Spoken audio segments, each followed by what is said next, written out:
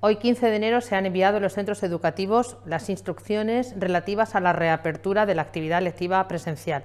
Estas mismas instrucciones también se han remitido a los ayuntamientos para que tengan constancia de ello. Con esto pretendemos que la mayor parte de los centros educativos de la región estén abiertos. No obstante, si los centros educativos, los ayuntamientos o la propia Administración observase que en alguno de los centros no se reuniesen las condiciones adecuadas, bien porque fallase la calefacción, bien porque no estuvieran completados los procesos de acomodación del centro, o bien porque el acceso al mismo a través de los viales de, de la localidad o el acceso por carretera fuera impracticable, continuaríamos con la actividad lectiva online.